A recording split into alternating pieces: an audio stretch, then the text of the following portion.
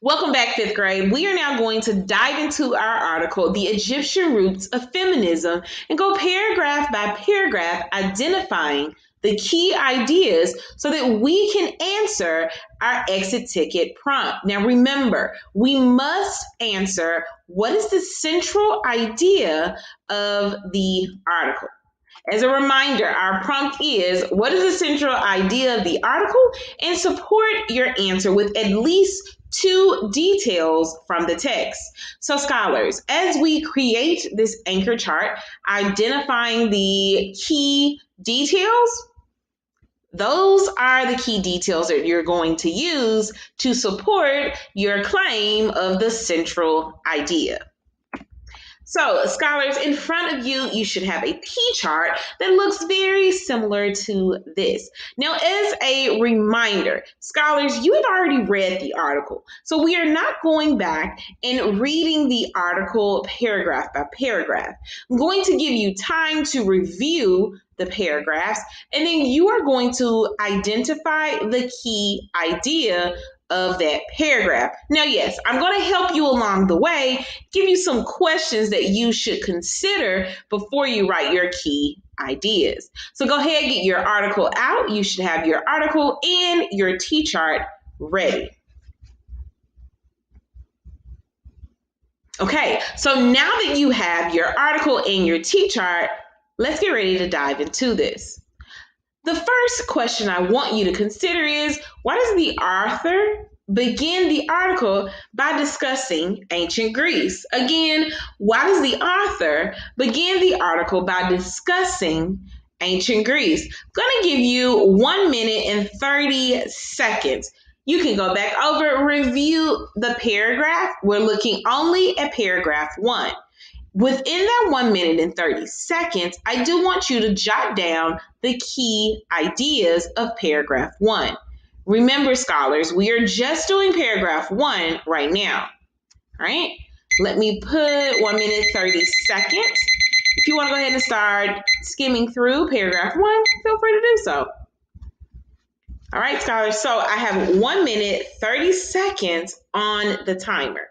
You're going back over, reviewing paragraph one, considering why does the author begin the article by discussing ancient, sorry, ancient Greece, and then you're gonna write down your key ideas. One minute, 30 seconds has started.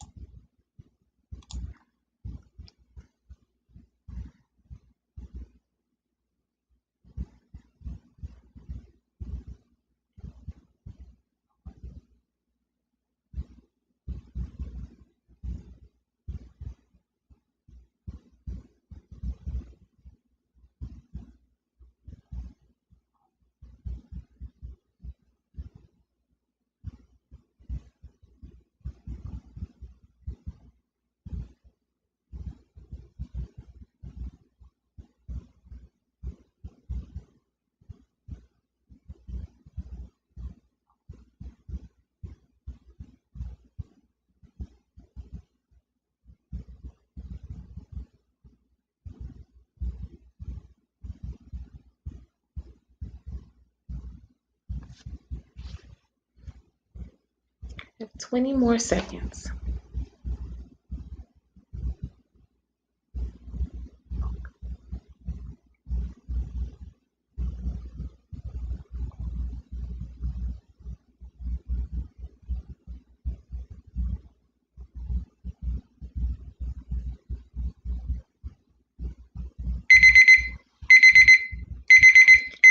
All right, scholars. So you went back, skim through paragraph one and wrote your key ideas. Scholars, for paragraph one, the key idea for me was that ancient Egypt was much more ahead of the time and valued women more than other ancient cultures like ancient Greece. So that was the key idea um, that I gathered from paragraph one. I'm now going to give you one minute, 30 seconds. You're going back, into paragraph two, and you're basically telling me what is the topic of paragraph two. You can also um, explain what was life like for women in ancient Greece. Now, if you do this, I need you to be very specific. Very, very specific. Again, what's the topic in paragraph two? And what was life like for women? Be specific. You have one minute and 30 seconds. Let's go.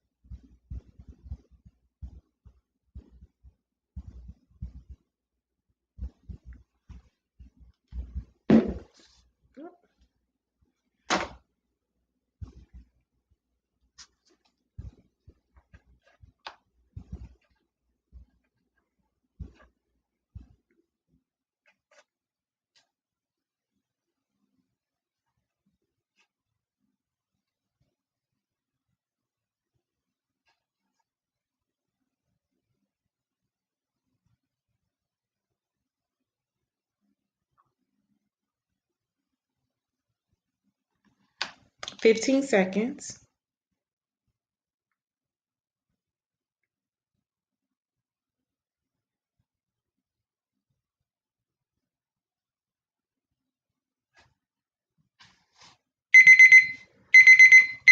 All right, scholars. So, according to Mrs. Trotter, I wrote that women in ancient Greece were considered less important and capable and were given fewer rights than men. Again, that women in ancient Greece was considered less important and capable and were given fewer rights than men. So not fair. So, so not fair. All right, scholars. So we are now going to look at both paragraphs three and four. When you're looking at paragraphs three and four, I want you to consider why does the author mention Sparta? And how does this information help us understand the topic of the article? Let's go back to the topic. The topic of the article is the Egyptian roots of feminism. So, why does the author mention Sparta? And How does this information help us understand the topic of the article? Your time has started.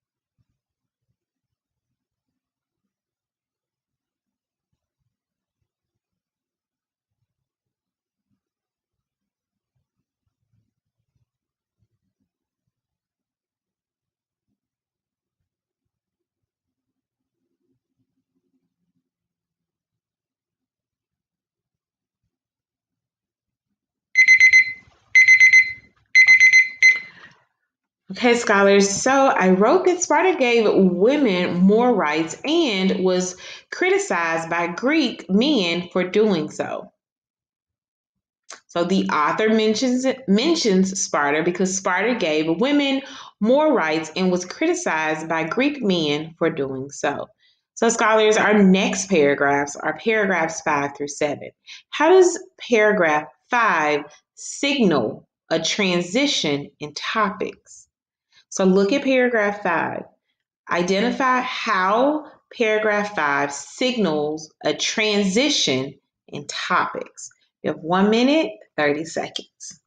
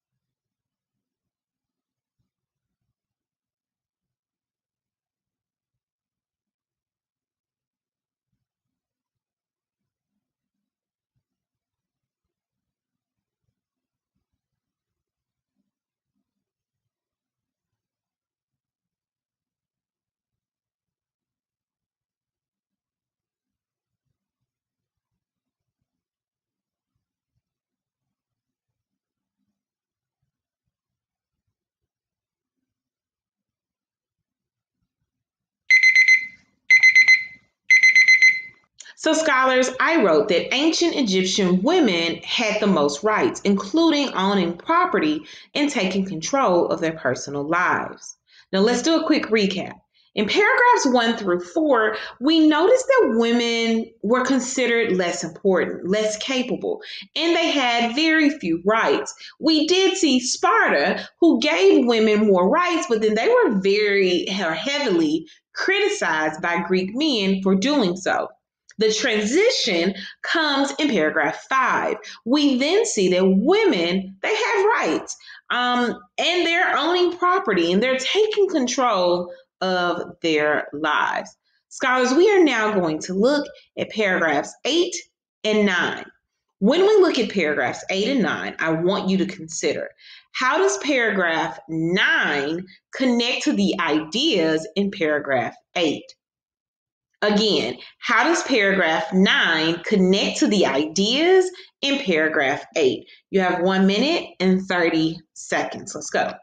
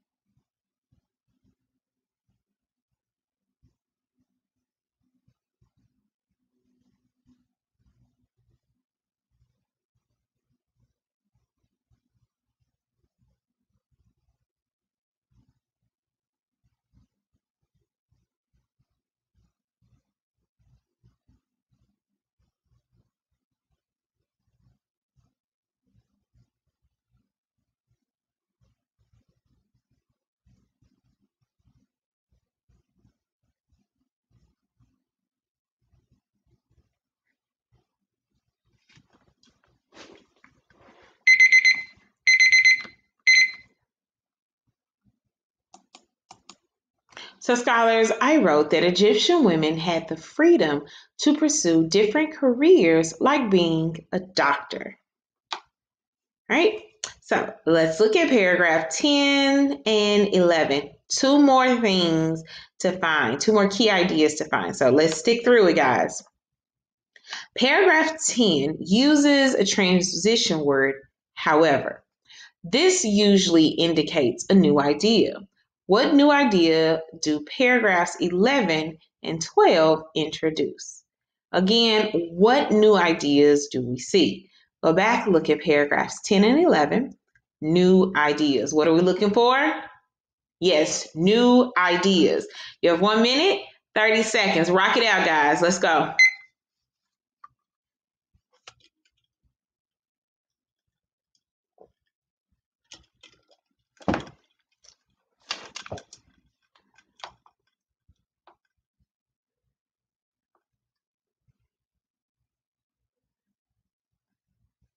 If you're skimming through, look for that however. Then figure out what new idea.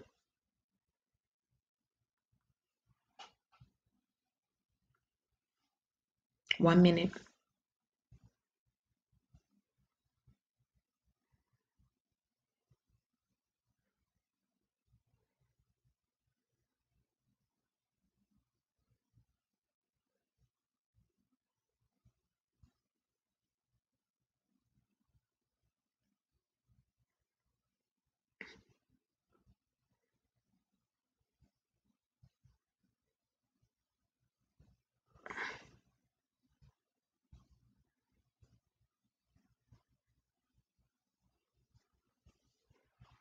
Twenty seconds.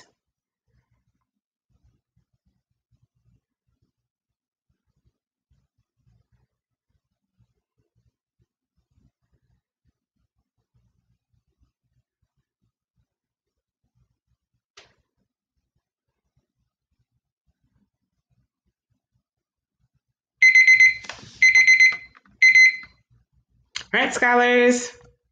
Let's see this new idea. Many ancient Egyptian women were, however, kept from certain leadership roles in Egypt. So, yes, they could go find and pursue different careers, but mm, not so much in leadership roles. Scholars, we have one more paragraph to deep dive into to find its key idea. So, let's look at paragraph 12. Paragraph 12 helps us understand the author's purpose.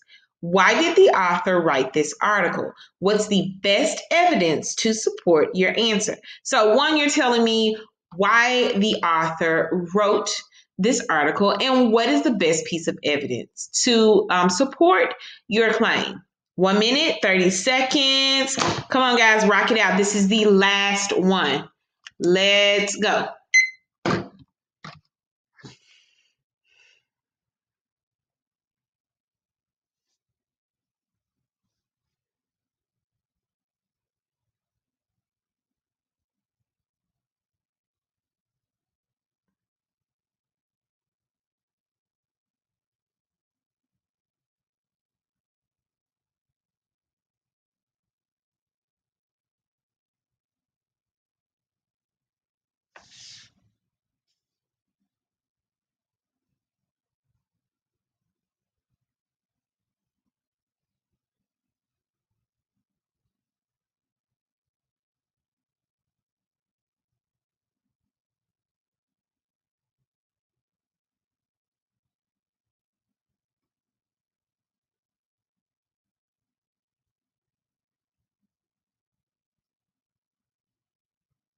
30 seconds.